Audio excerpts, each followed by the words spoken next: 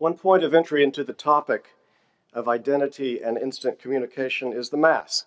It's commonly observed that when people go online, they craft their identities, sometimes with little or no relation to the truth.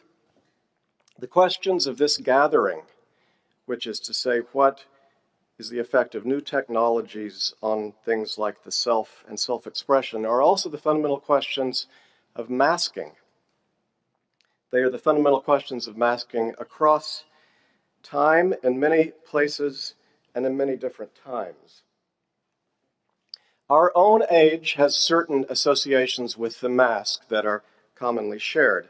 That is to say, that masks are worn to disguise, they bring reliable anonymity, they liberate us from social constraints and prohibitions, they give us the permission to be who we truly are. Oscar Wilde said this Man is least himself when he speaks in his own person. Give a man a mask, and he will tell you the truth. There's a variation of this contemporary view of the mask, and that is that the mask brings a oneness with a larger whole. This is from a short story by Isak Dinesen written in the 1920s. It's called Carnival.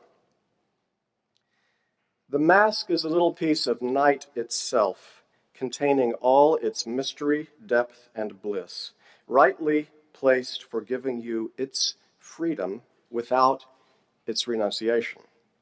Your center of gravity is moved from the ego to the object. Through the true humility of self denial, you arrive at an all comprehending unity with life, and only thus can great works of art be accomplished. We make a mistake when we assume our conceptions of the mask were shared by people before us. That mistake assumes that all the means that allow us to think of masks as transforming our identity into who we truly are were available to them, and these means include economic, medical, technical, political, and social. Only recently, in the age of Oscar Wilde and Isak Dinesen, could people begin to conceive that they could change their identity when they put on a mask.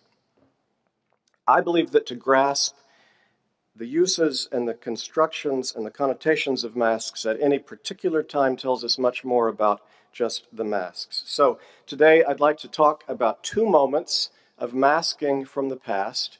I'd then like to talk about some observations of the mask of new technologies and see what we can say about the self and self fashioning.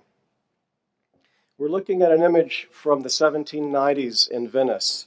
This is an image of a little known artist by the name of Anton Maria Zanetti, who was sometimes described as an early caricaturist. And I use this image because I acquired this image in this place, the Fondazione Cini, doing research for the book that Roger mentioned.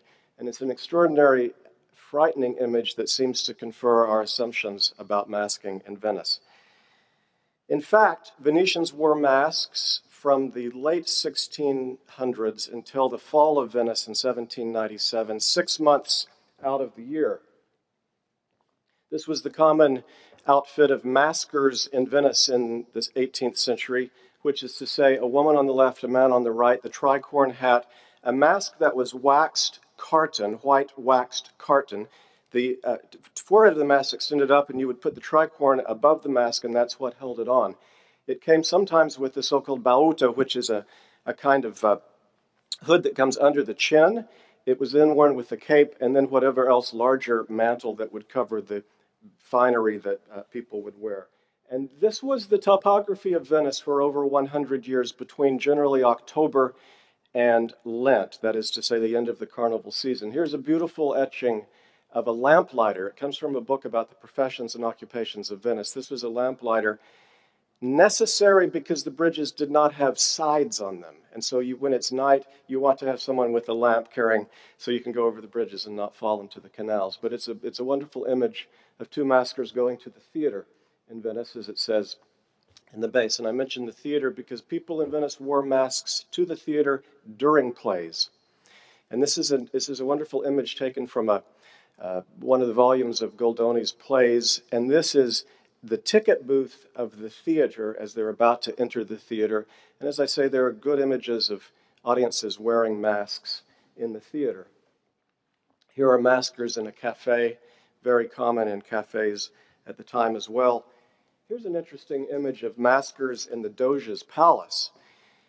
Because by tradition, foreign ambassadors always wore masks when they mingled with Venetian patricians. And so what we see here is a formal dinner given to Venetian patricians. You can see them around the perimeter of the room at their tables. You can see the Doge and the High Council, the Ducal Council, at an elevated table at the back. And you can see foreign ambassadors in the middle of the room milling about wearing masks. The tradition of wearing masks began with the nobility in the 1690s. It quickly spread to most other classes except the workers. And here's a nice image of people in public. We have a woman selling perfume. It's a uh, image by uh, Longhi, and uh, we have various maskers here as well. Masks were the norm in Venice outside of the carnival season. Venetians wore masks for occasions that were not festive. It was an accepted article of clothing. It was cheap. It was easily had. It was simple. Most of the time, Venetians wore masks not to be mysterious, not to pursue clandestine affairs, not to be provocative or defiant. And so we have to ask why. Masks were a manifestation of an extremely hierarchical social structure. We heard a bit last night about the patrician tradition in Venice. In 1297, the noble class was locked in the famous serrata, and from 1297 until 1797, it was cracked open only on two or three occasions to finance wars. Otherwise, there was no social mobility, and a relative handful of non nobles purchased their way into the noble class. Unlike France, in which the door was wide open from the time of Louis XIII forward and people were always buying nobility, there was a sense of an immutable hierarchy. You were who you were born to be.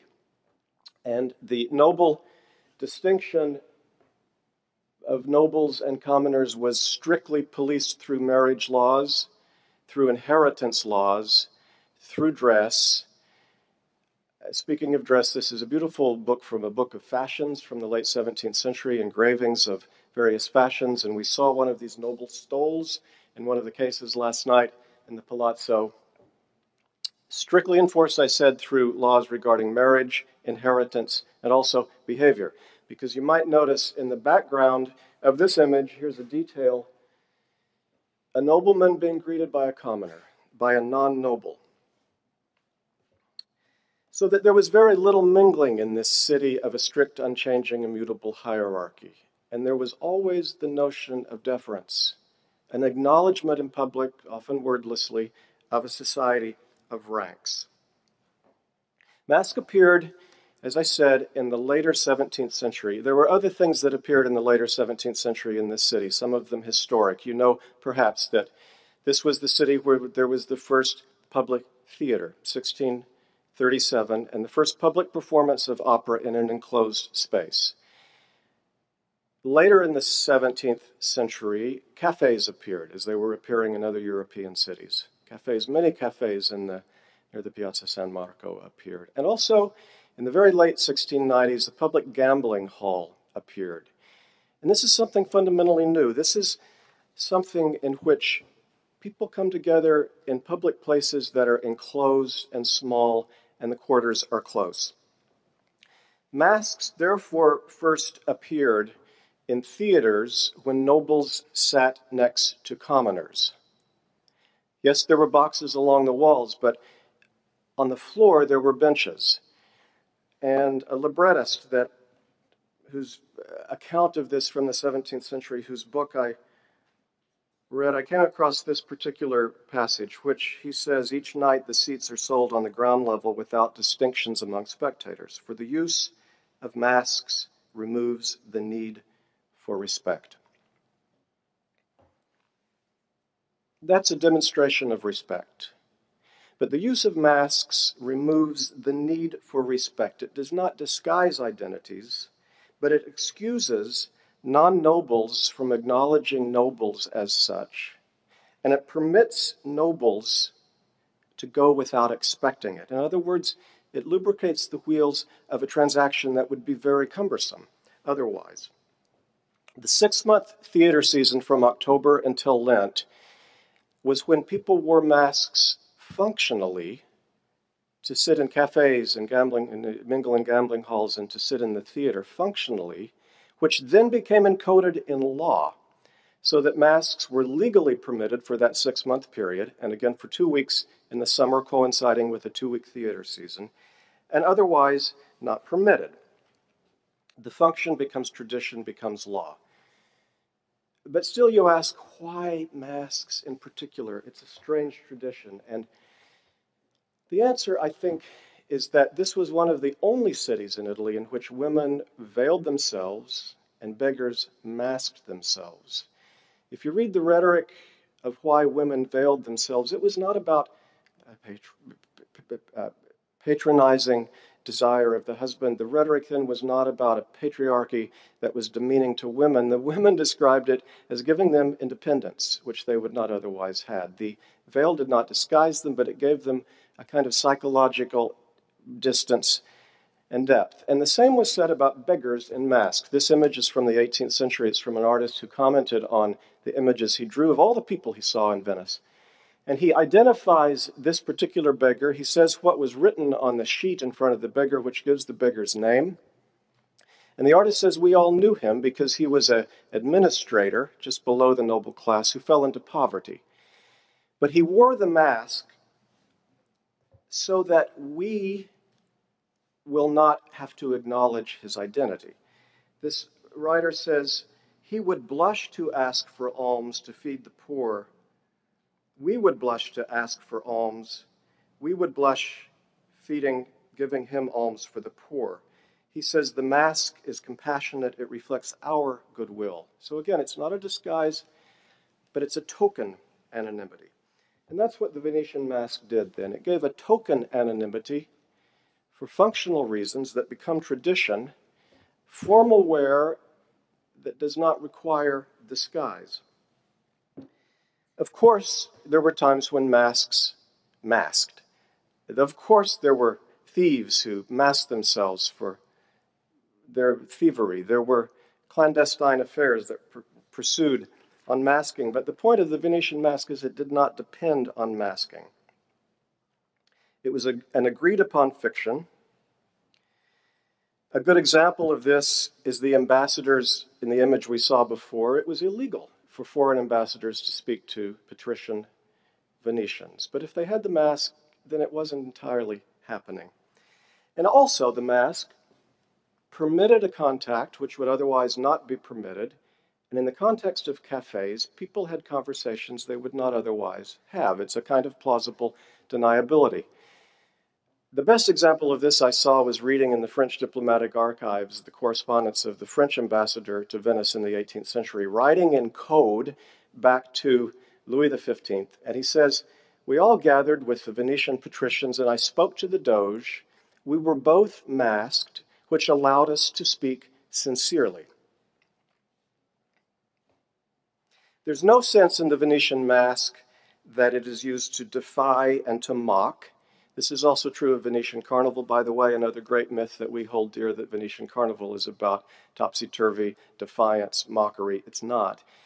Rather, in this formal attire, used as such, it was not used to discover one's true self, which was unimaginable to most Venetians, that such a question could be posed. Instead, it was a kind of mask that permitted community, that is, to be with others in a society that nevertheless remained strictly hierarchical, even during Carnival. In short, the Mask of Venice was conservative. Now, I want to go to one other moment to have a glance at a kind of masking that's very different. I want to move from the object to the idea or the figure of mask. I want to go to the French fin de siècle, that is, France in the 1870s, 80s, and 90s. I want to skip over the 1830s in France, which was the period of great commercial masked balls that happened week after week after week, in which people did disguise themselves They did imagine other identities. It was chaotic and it was politically subversive. I want to skip over that to a later period of masking in France. And many of you will know this painting Manet, Bal Masqué à l'Opéra, 1873.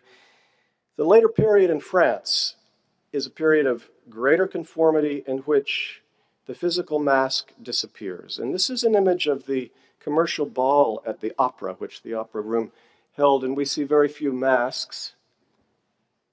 We actually think we see very few masks, but the fact is, I found accounts in the opera archives that there were stores and boutiques around the opera building that rented tuxedos and formal top hats to working class men so that they could go to the masked ball unmasked. But this is an age of great conformity, and uh, it's an age when the so called sexual freedom of the 1830s and 40s becomes a, a naked business transaction. And Manet captures sort of this, sort of this thing.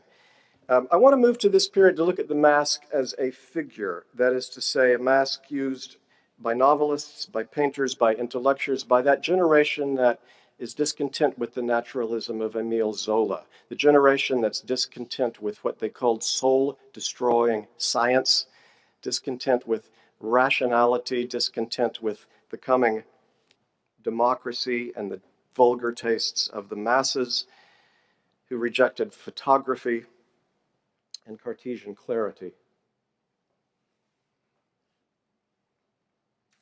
For this generation, the mask is the figure of existential uncertainty. It's not formal, it's not festive, it's not really about imposture or willful deceit, but it's about the unconscious realm, the unknown realm, the sickly, the unhealthy, the emerging sway and language of the psyche, which is being investigated by Dr. Charcot at the Salpêtrière Hospital with hypnosis of so called hysterical women, the private worlds that offered a fearful relief from reality, which is to say, behind the false face of propriety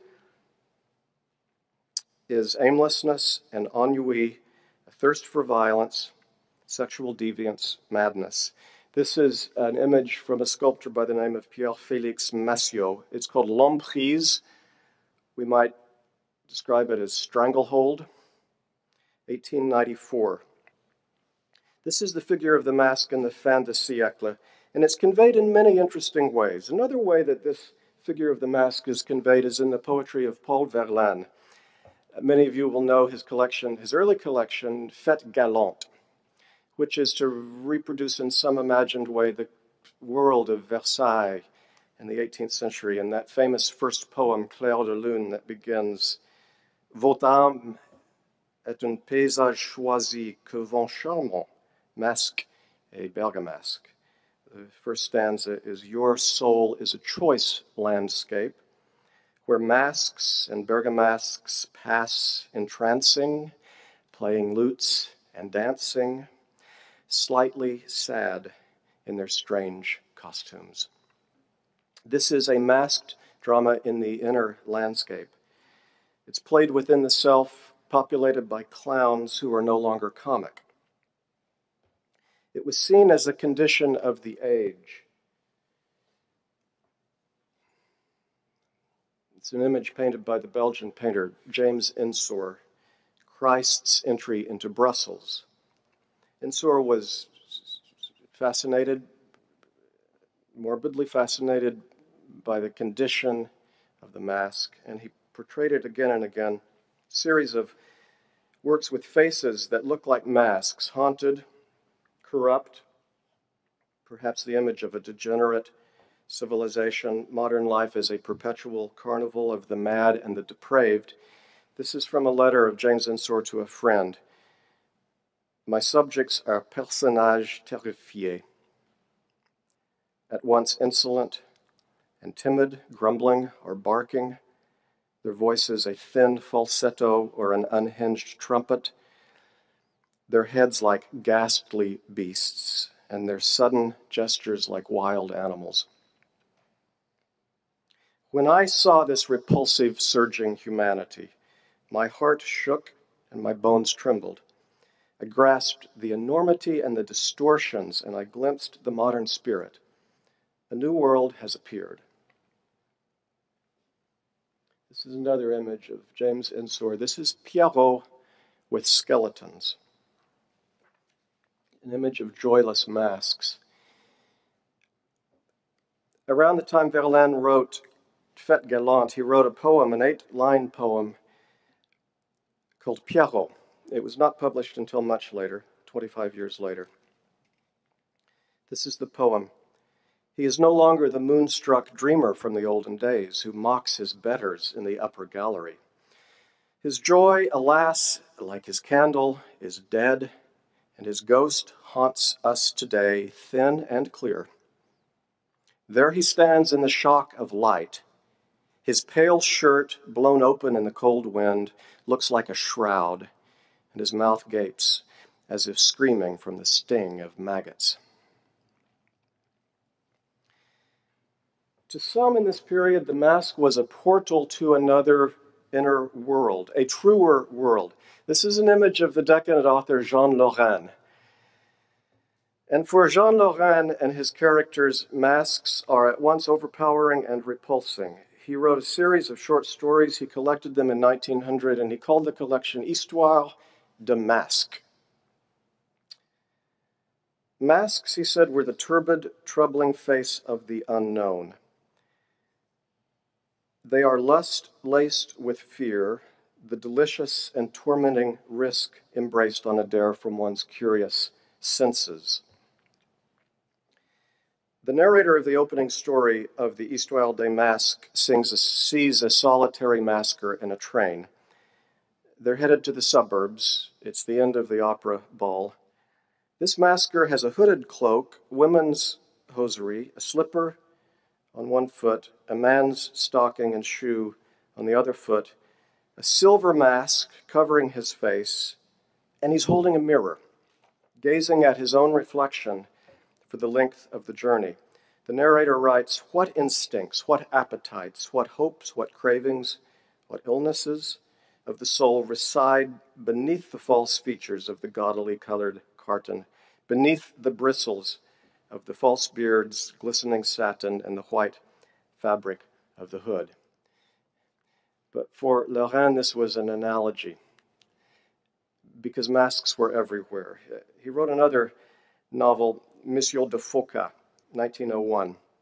And the narrator, this is a novel written in the form of a journal, the, the, the narrator becomes obsessed with masks he sees in the streets and he begins to have obsessive thoughts about decapitation with every mask he sees. April 1893, masks, he writes. I see masks in the streets. I see masks on stage at the theater. I find them again at the box seats. They're in the balcony. I find them in the orchestra.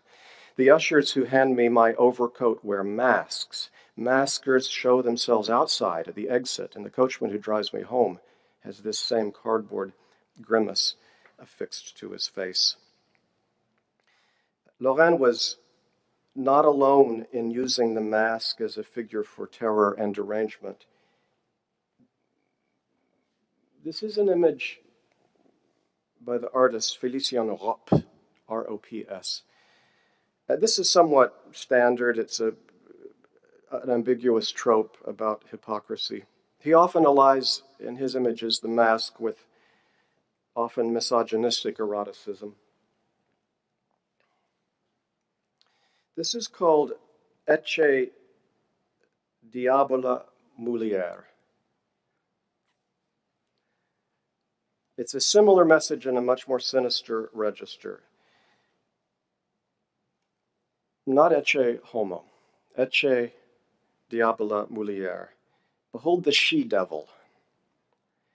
The transparent, the transparent skirt that she wears seems to give us a warning. She is seemingly unclothed. She's holding a mask, but she is not unmasked. What is the nature of masks in the French fin de siècle? It's at once a commentary on society and on the self. Regarding society, it is an effect. It's an effect of the city, of herd like democracy, of anomie and alienation, of Americanization, they said, which transformed human relations into business relations. The mask was an obstacle to community, It was an obstacle to concord and mutual understanding. And regarding the psyche, the mask was a discovery, a figure for the fathomless self, a self that could reveal itself only in partial glimpses of dreams, of hypnosis, of states of intoxication or hallucination, of sexual depravity. It was a self politicians were realizing that could be roused irrationally to mass passions, which included social hatred, class hatred, racial hatred, and violence. But in both cases, the mask is a condition and not a choice. It presumes a self. It's a mask that works against narcissism in quest of the self, and it does not preclude the possibility that the self is ultimately unknowable. It's an object of doom and fascination. Our contemporary view, where I began with Oscar Wilde and Isaac, and Isak Dinesen, is the heir of this version of the mask, which is to say, the mask of self fashioning. It's made conceivable and possible by our prosperity, our rhetoric of political democracy and social equality, and by consumerism. And the mask of technology, of new technologies, is a further step in a radical self fashioning. We know the notion of complete visibility.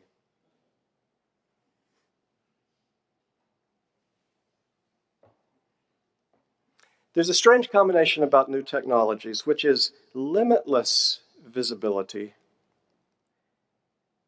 and complete self invention, reinvention, and imposture. The two aspects of the online identity full visibility and continued self reinvention. We're familiar with the mask of new technologies. We're familiar with FBI agents posing as adolescents, arranging trysts with adult pedophiles posing as adolescents. But we're familiar with the much more common sort of self reinvention. Our online profiles are crafted so they include the most flattering photos, the most thrilling travels, nourished by the most amazing meals, accompanied by the most glamorous friends. People talk about the internet of people, lives that are fully displayed online through Facebook, LinkedIn, Google, and Twitter. In 2012, there were an estimated 5 billion held, handheld devices. In 2020, there will be 50 billion handheld devices. Facebook now has more active followers than the entire population of Europe and Russia. Each month on Facebook, there are more than 1 trillion, 1 trillion page views. This consists of continuous posts of personal information family, friends, loved ones, lovers, a daily, sometimes hourly photographic archive, a catalog of what one buys, reads, watches, listens to, constant updates of one's location where one is walking, driving, flying, eating, and sleeping. And much of this radical exhibitionism is done by choice. Mark Zuckerberg described a five year plan in 2010. It was to eliminate loneliness. He said, No matter where you go, we want to ensure that every experience you have will be social. He was the Person of the Year of Time magazine in 2010, and this is from the description of the choice of his being Person of the Year from Time magazine. Facebook wants to turn the lonely, antisocial world of random chance into a friendly, serendipitous world. You'll be working and living inside a network of people, and you'll never have to be alone again. The internet and the whole world will feel more like a family, or a college dorm, or an office where your co workers are also your best friends. Much of the data is collected not by choice. As of 2011, iPhones track, record, and archive location data every day, up to 100 times a day, at all times. There are now new apps that collect data on one's activities, conversations, time spent working, time spent exercising, time spent eating, time spent sleeping. They then put these into prose for you and post it automatically in real time. This is from the website of one of these app companies. It's called Step Journal. Want to know yourself better? Step Journal assists you in capturing and telling the amazing story of your life. Life poetry told by sensors. The true power of amazing journalism, journaling. This is from Saga, a rival company. Be bold. Embrace your authentic self. Record your life automatically and share it effortlessly with people you care about. And then there's the narrative clip, which is a small camera that you affix on a part of your clothing, and it takes photos every 30 seconds. This is from the website. Capture the moment as it happens without interference complement your staged photos of majestic scenery with the intensity of the small moments that matter the most. There's an app that, by placing your smartphone on the bed, measures, records, and posts automatically your sex life, including its frequency, duration of encounters, the number of thrusts, and decibel levels. It's called Spreadsheets.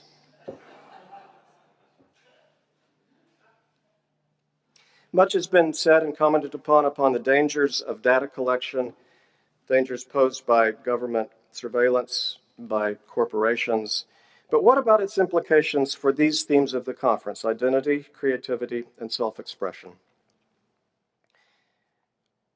In 1890, Samuel Warren and Louis Brandeis wrote an article in the Harvard Law Review that sketched out a new notion of the right to privacy.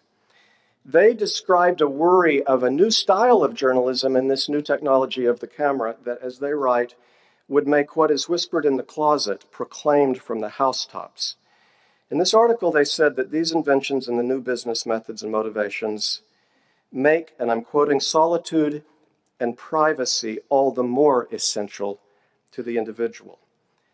They write of the general right of immunity of the person the right to one's personality.